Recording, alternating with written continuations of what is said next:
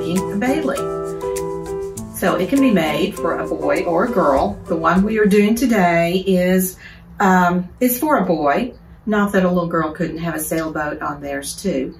So we're going to be doing, making the, the garment as well as learning how to do this special applique. So you're going to need some things to get together. You will need your basic sewing supplies and then out of your Bailey pattern, the boy version is view B. So you need the front and back patterns for view B. They are um, pieces four and five. And then you will need the bib, which is piece number one, and that's for both views. Um, there's a little tab uh, that will be a loop to hold the um, the belt, or the, not the belt, the, the strap together in the back where it crisscrosses. And then your strap. You'll need that. And then you will also need um, your pattern pieces for your sailboat. And before I forget, get your um, instructions for your applique out. There's a couple of things I really want you to mark just to um, kind of highlight. Uh, the first thing is right under cutting the appliques, your fabrics that you're going to use. If you've got one of our kits, you have um, a piece of white pique and a, and a, piece of gingham. Lightly starch those because it will help when you are turning your applique in a, in a, in a while. Uh, it'll help you smooth those edges. And then in step two, when you're cutting out, you need to be sure that you cut with your fabric right side up and the fusible part of the interfacing down. So the fusible part of your lightweight interfacing needs to be down against the right side of your fabric. So the fusible side is the rough side. So if you will just highlight that or circle it, um, I'm going to let you get things cut out. And I think that's all I need to tell you right now. So get busy.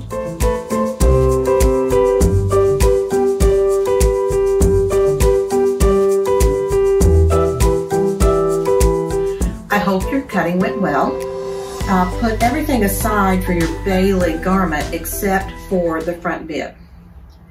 And on the front bib, uh, just to help position the applique in a little bit, I went ahead and just drew hatch marks. I found the center and then just drew a horizontal line and a vertical line. And um, it'll just help me kind of get it placed in the center. But if you want to eyeball it, then you don't even have to put those lines on there.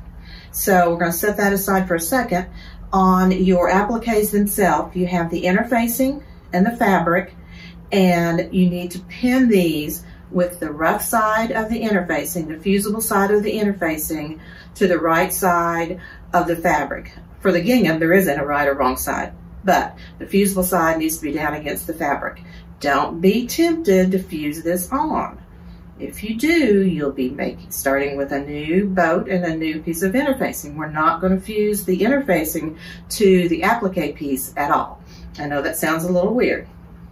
And then same way with the sailboat, it will be the right side of the fabric, which is does have a right and wrong side if you're using the white pique, and then the rough side or the fusible side of the interfacing you're going to stitch all the way around these. Don't leave an opening or anything.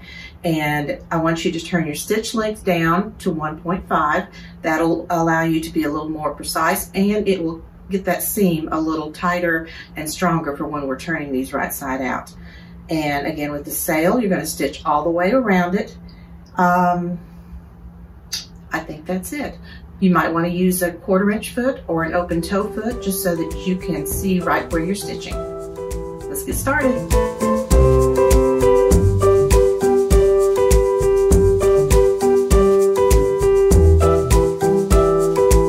Now that you've got your boat and your sail stitched, um, I've already turned my sail, but I'll show you what I did. Um, in the back, where the interfacing is, on both the sail and on the bottom of the boat, I cut a slit just in the interfacing about an inch and a half wide. Once you do that, then you can carefully turn these. You know what? I forgot to talk to you about trimming though. So let's just back up a second. Um, before you start to turn, you need to trim your seam allowance to an eighth of an inch And then on the corners of both the sail and the boat, clip diagonally across the corners. Then cut your slit. You'll need a point turner for this.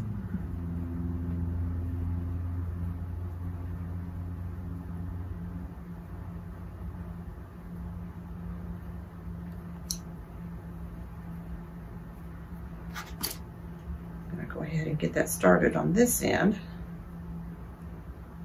You're just going to press gently right now.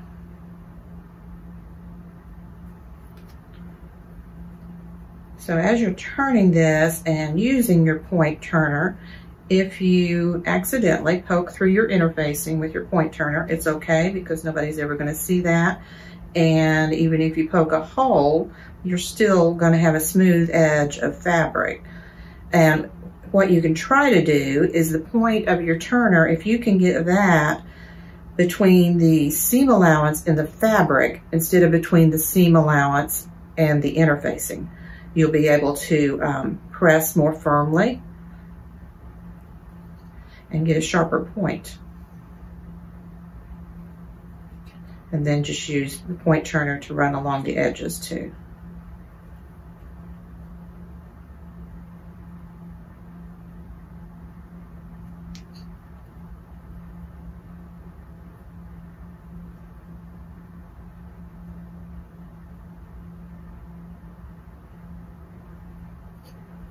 I think Points about as good as they're gonna get. So now you need to get out that piece of parchment paper that came with your kit.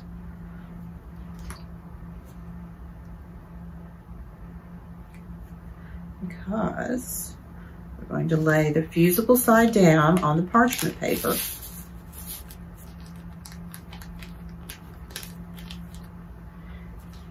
And take our iron You really just need to press the edges. But if you press the whole thing, it's okay because the parchment paper will keep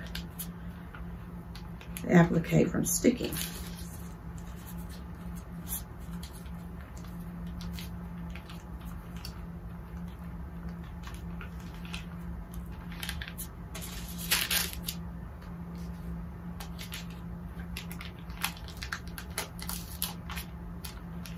So go ahead and get that done and then we will be ready to attach or fuse our sailboat to our bib.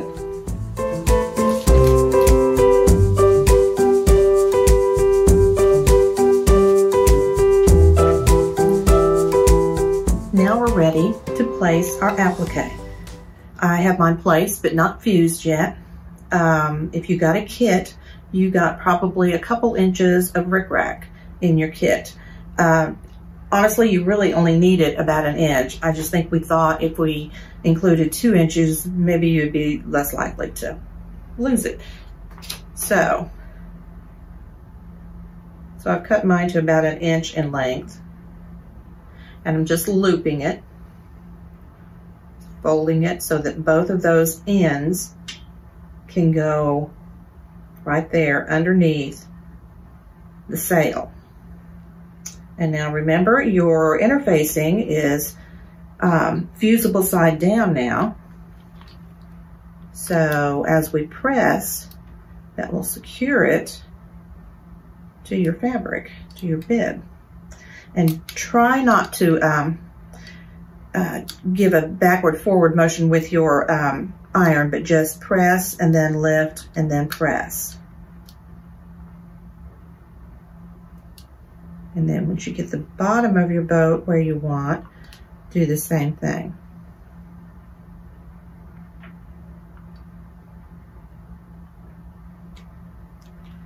Okay, now let's talk about um, stitching it on.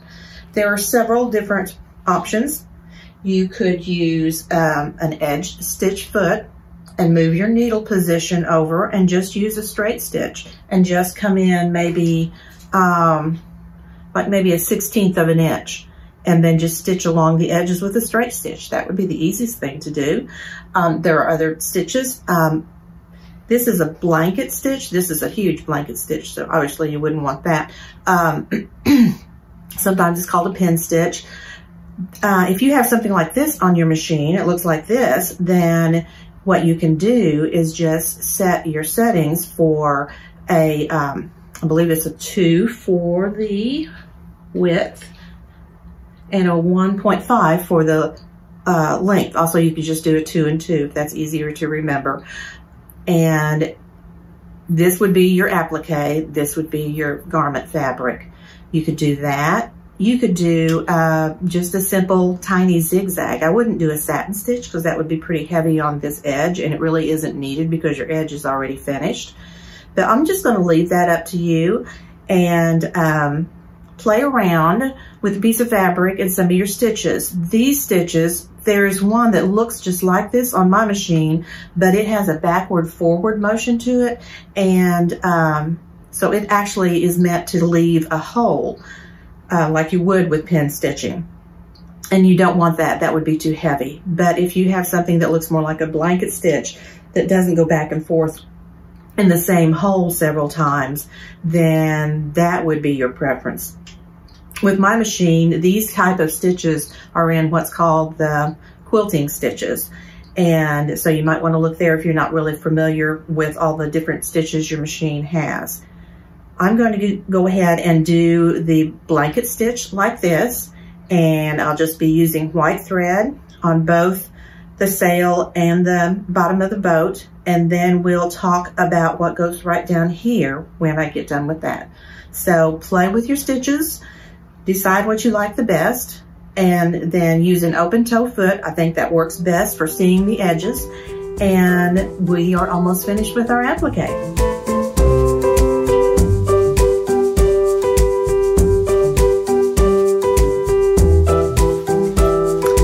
Okay, we are almost finished with our applique. The last thing to do is the satin stitch. And to do that satin stitch and make it look really pretty, lower your top tension on your machine to three.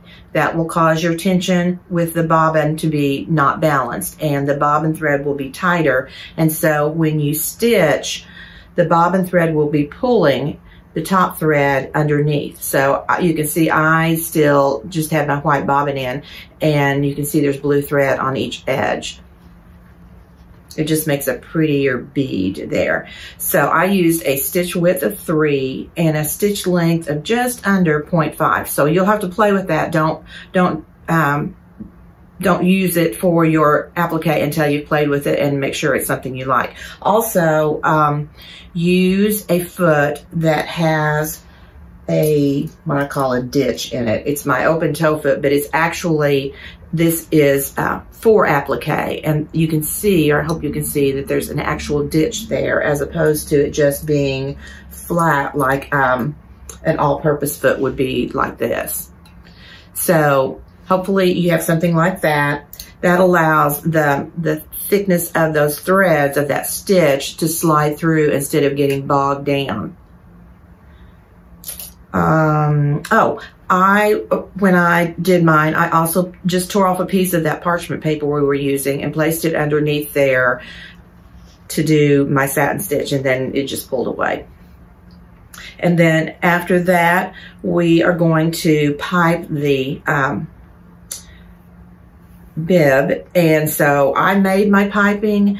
Um, you can use purchase piping or you can make your piping if you're not familiar with how to make it or if you need a little refresher. We have tutorials on how to cut bias and how to make the corded piping with the baby cord. But let me just go ahead and talk a little bit in case you are not um, real experienced in stitching piping on a garment uh, when I do a basic construction class, I will often suggest that they use a glue baste it. It's just a water soluble glue. I like it because it's just a small bottle. It has a little tip on the end. If it gets clogged, you can just stick a straight pin down in there, but it usually doesn't even get clogged. And then you just start by just putting tiny little dots right along the very edge of your fabric and then you can just place your piping down on those dots, matching the raw edge of your piping with the raw edge of the bib fabric. And then, let me just go ahead and I'll just do this until we can get to this curve up here.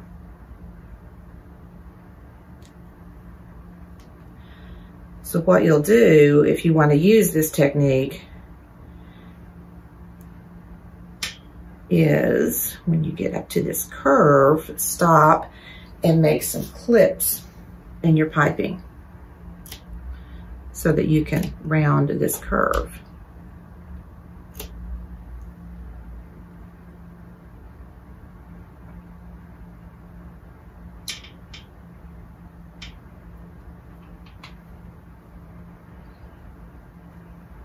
Let me hold this up here so you can see it.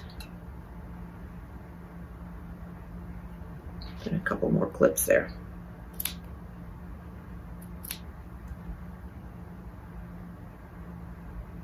So you can see how clipping it helps it go around that curve.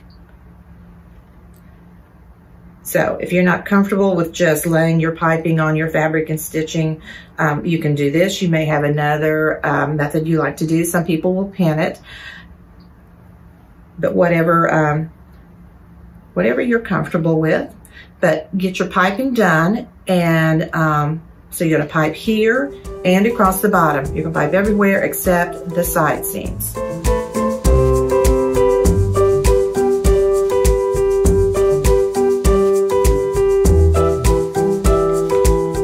Now that you've got the stay stitching done, um, before we go on to step five, go ahead and pull some of that cord out of each end of your piping, about a half an inch clip that off so that that seam won't be so bulky. So after you do that, then we are ready for center front and center back seams.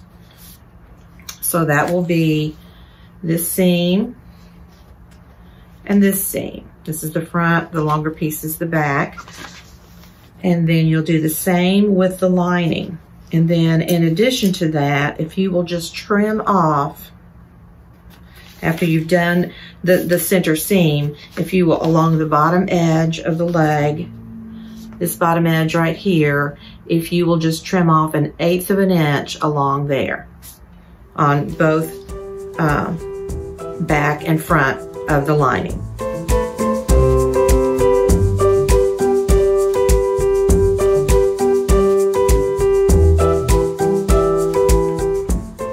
Now we are ready to continue with construction. Um, I realized I kind of jumped ahead when I had you go ahead and do your piping, but now we've got that out of the way. So we're going to go back now to marking um, our fabric and um, start by marking the buttonholes. And if you will just line up the stitching line of your bib pattern with your piping, and then if you have a blue marker like this that kind of will soak through this tissue, all you have to do is just put a dot at the top of the buttonhole and that will transfer onto your fabric. And I'm, gonna, I'm not gonna go ahead and do another mark down here because I'm not sure what size buttons I will put on yet. And then for your the back of the romper, there are uh, strap placement lines, so you'll need to mark those um, on your um, on your strap, there is a loose loop placement line, so you need to mark that. And then the first thing we're going to do is what's called a stay stitch. And um, you're going to be stitching just the inseam line regular stitch length, but just a scant quarter inch, so just within the seam allowance. You're gonna do that with both back pieces, both front pieces, and both back and front linings. So there will be eight little stitching lines that you're gonna do before we get started with anything else. So let's do that and then we will be ready to skip down to step five.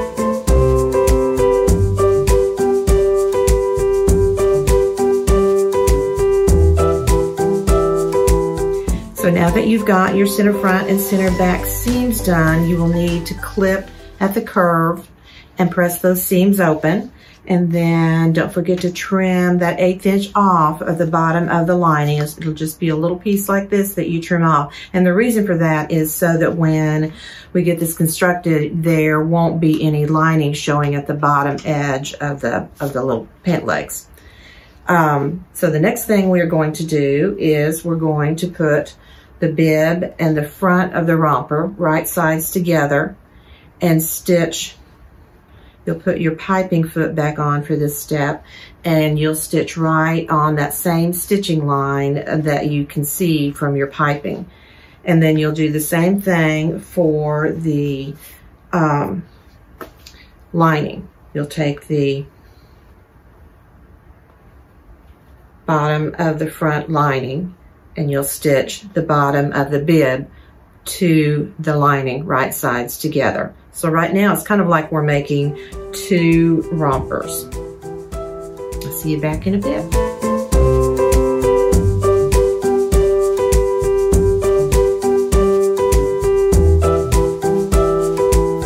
Now that you have your bib stitched to um, the bottom of the romper, and the same with the lining, I am noticing in step six, it says to press this seam down. I think that might be wrong because it automatically wants to, to flip this way. And so you might want to just circle that and maybe put up instead of down. I think it just, I mean, you could do that, but I don't know. I think that might be a misprint. Anyway, the next thing um, I want you to do are your straps. And I've gone ahead and stitched mine. I've turned one and I've stitched another one and just trimmed it, clipped the corners. And now I am going to use, I hate using something that I'm not sure we currently have in stock, but if we don't, um, keep checking. But this is called a stuff it. And so at one end, it's um, it's a rounded tip, and then the other is just a more blunt end. So I start by just using my thumbs to press some of the fabric at this sewn in down in there. And then once I do that, move this out of the way, then I can just start working to stuff it down through the strap.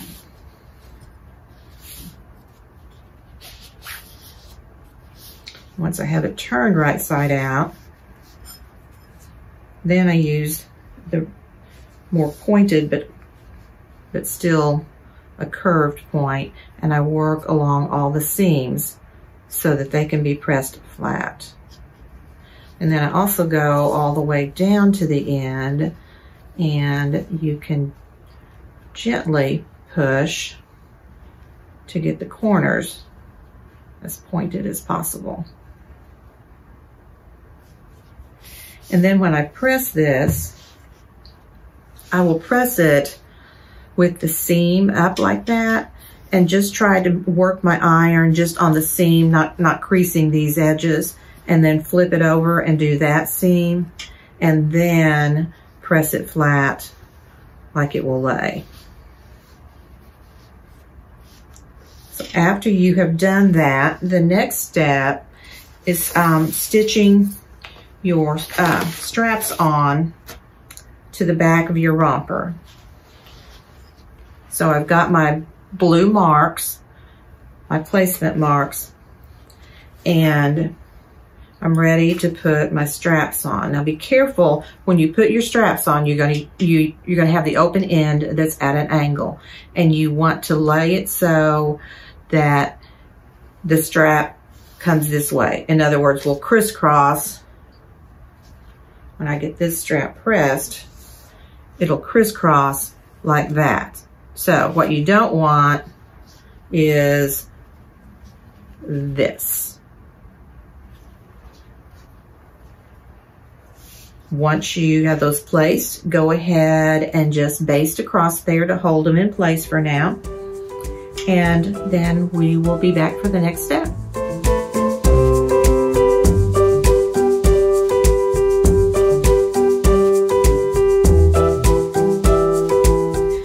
Now that you have um, your straps on, we're ready for step 12, and that is the side seams. So with right sides together, place the back onto the front and stitch each side seam and then press each side seam open.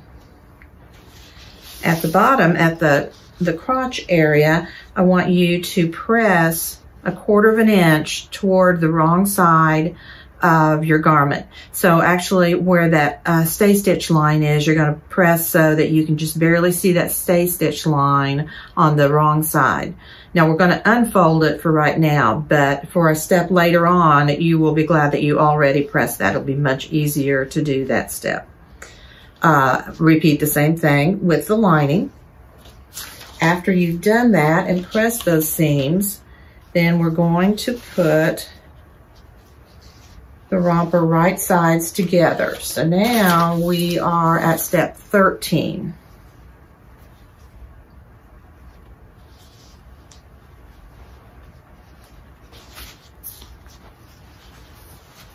So I've got my lining turned right side out, my romper fabric inside out. And you want to keep the straps out of the way. So just make sure that they are hanging down out of the way so they don't get caught in this next seam. So as you can see in the picture, you're going to match side seams of the lining to the side seams of the outer fabric. The center back seams you will match.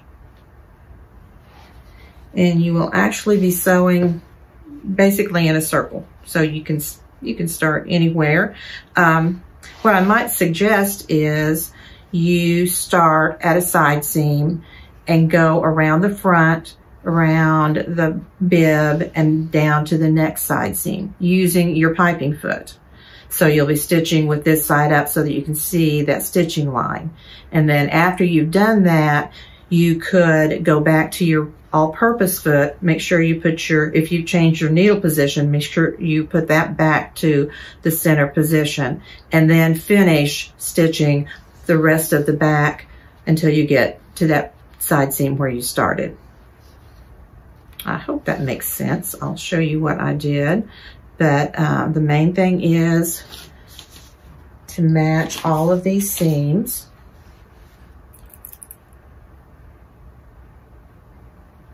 And stitch with this side up so that you can see your stitching line from your piping. After you do that, uh, turn it right side out and press.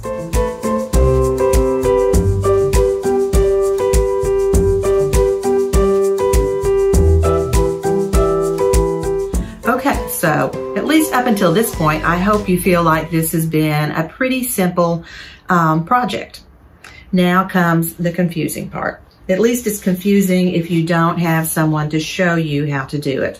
So this is where we are going to sew the bottom of the legs together. And the way we do that is by going to one side of your garment, taking a hold of the side seam of your garment fabric, a side seam of your lining fabric and then with the rest of your fingers, just wad it all up. I'm sure you've just ironed it and now we get to wad it all up and put those two side seams, don't let go of these, put them together and put a pin in there.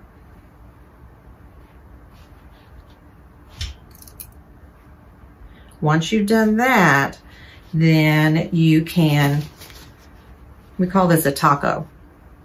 Then you can start pinning and you will um, start stitching here at the crotch, just right there, not across here.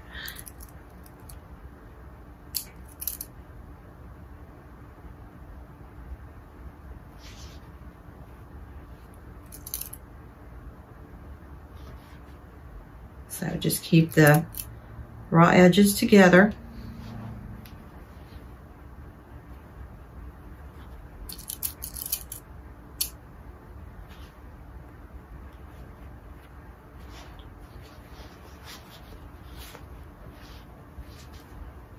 Until you get to the other crotch seam.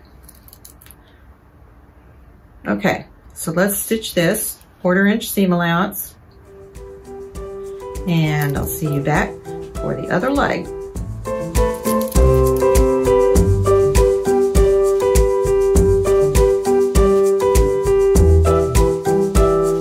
I realized after we finished the uh, previous segment that I told you to stitch and flip and press, but I did not tell you to trim and clip your seams first, and that is important. So if you didn't do that, go ahead now, turn it wrong side out again, and trim and clip those seams, especially clip at the corner, or, you know, at the curved edges at the top. And um, do that, and then you'll be ready to stitch your casing. Now your casing will start, your first line of stitching will start a half, an, excuse me, an eighth of an inch above the top of the back of your pants. And then the second row of stitching for your casing will start just a little bit above where the piping is. Now this garment is um, designed for half inch elastic. And I know that's not necessarily as common as most of the elastics that we use. Uh, we do have it at the children's corner, but if by chance you can't get half inch elastic, then you can use three quarters. And instead of starting that second row of stitching um, up above the piping, you will stitch it right below the piping. And that will give you then enough room for uh, your three quarter inch elastic. So just another option in case you can't get your hands on the half inch elastic. So once you've gotten your casing um, stitched, you'll be ready to put your elastic in. And we have um, a chart on the instructions that gives the suggested length for these um, different sizes. But if you have a chance to get your little guy's measurements, then that always is the best thing to do, whether it's a romper like this or whether it's the Parker pants or Robert pants. So if you can get that, um, you will um, probably have a little better fit than just guessing. And um, we usually give generous amounts when we give a chart like that because we never know. And the last thing we want is for you to finish and it be too tight. So cut your elastic, put a safety pin at one end, separate the lining from the outer fabric, go up to where the side seam is right here. And then that's where your elastic will go in. That's where you, you will start your safety pin. When you feel the end of your elastic about a half an inch from where the casing starts, go ahead, stop, stitch that in place, and then keep pushing your pin through till you get about a half an inch on the other side and then stitch that end in place. And then be sure to take your safety pin out. I have often left safety pins in casings and not realized it till I was completely done.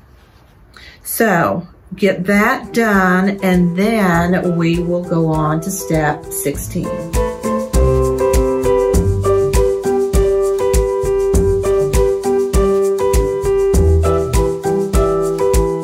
Now, we've got the one bottom of one leg sewn. Um, the instructions didn't say to trim, uh, but I went ahead and trimmed my seam allowance. So now we are going to turn everything right side out again.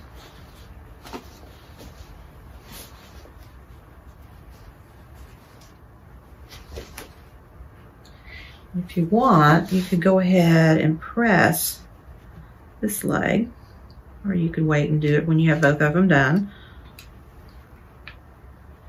And you'll press so that you see a little bit of your outer fabric. Remember, we trimmed an eighth of an inch off of the lining, so that should be easy for you to roll this so that you get a little bit of your outer fabric showing on the inside. Okay, now we're going to do the same thing again. At the uh, other open leg, you're going to take a hold of one side seam and the side seam of the lining. And with your other fingers, you're just going to shove it all up in there. And once you get to the point where you can put those two seams together, go ahead and do that and get a pin in there.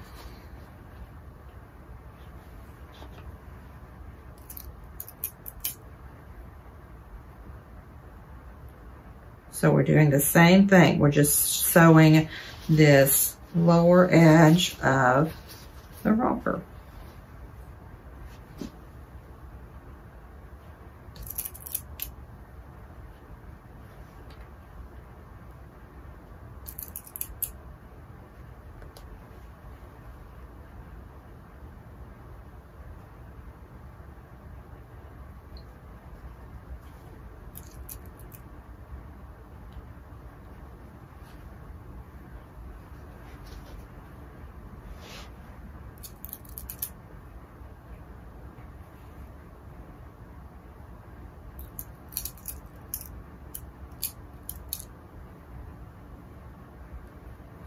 Okay, so get this edge sewn and then we'll come back and turn it right side out.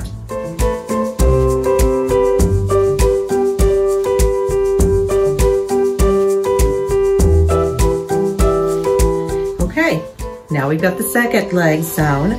It's pretty crazy, doesn't it? But if you look at this and look at the picture, that's real, that really is what it looks like. So now we have to reach in through one of the crotch openings and pull everything through. So if you're making a three months, it's a little tricky, but it works.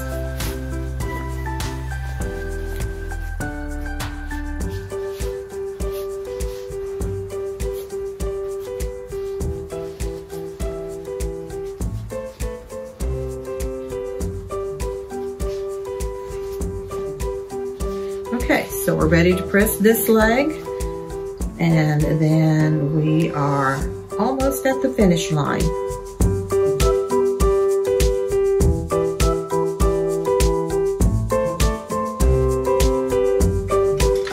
Now we are ready to finish these crotch edges. Remember how earlier in the pattern we pressed under this edge a quarter of an inch. We stitched it and pressed it under a quarter of an inch. Now we are refolding that and you may need to press a little bit.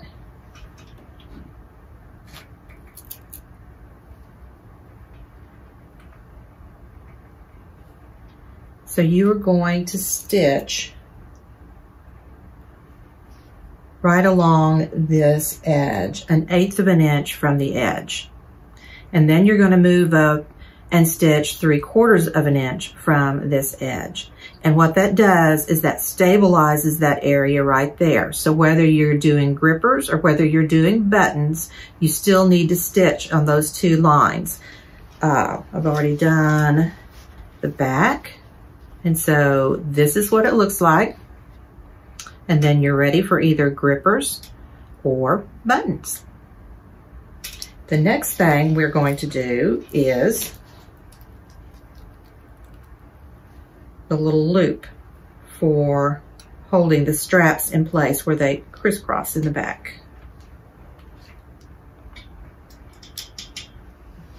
If you will just press each end in a quarter.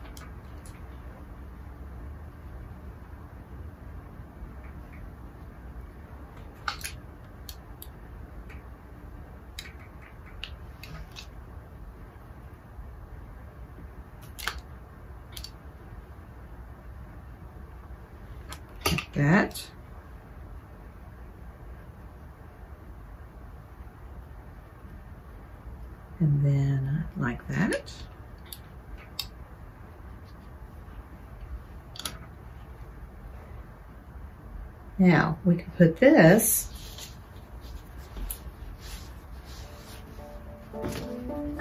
Oh wait, I have to stitch the edges first. Okay, I'll stitch the edges and then we will come back and finish up.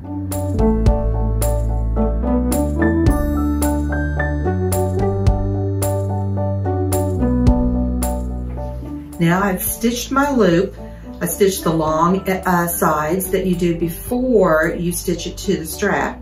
And then you just place it on your placement lines and stitch across each end. And then you slip your strap through there. And that keeps the straps from falling off their shoulders. So the only thing I have left are buttons. I need to go to the shop to get some buttons and either grippers or buttons uh, for, for the crotch. Either one works. We have plenty of both. I hope you've enjoyed this. I think this is super cute. I can't wait to see my grandson in it. And you know, those little boys stay little so, for such a short time. Um, I feel like I need to make a half a dozen of them or something for this summer. I hope you've enjoyed it and I'll see you next time.